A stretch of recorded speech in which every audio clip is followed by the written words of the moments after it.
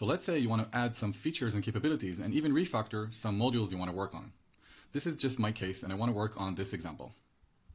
Once Codium AI is installed, for each independent class or function, I have this generate test button.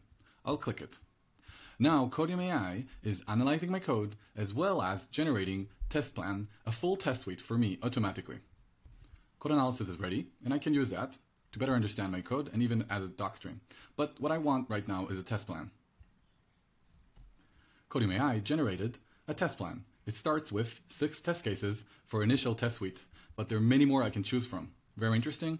I can go over them later. I can also add my own test case in natural language description, and then Codium AI will generate the test code for me. Test code is ready. Here it is. I'm simply going to add this one, and this one, and this one. Great. Now I can save the file and start working with it. Once I change my code, whether I added more capabilities or fixed bugs, I can call Codium AI again and generate a new test suite. That's it. Enjoy!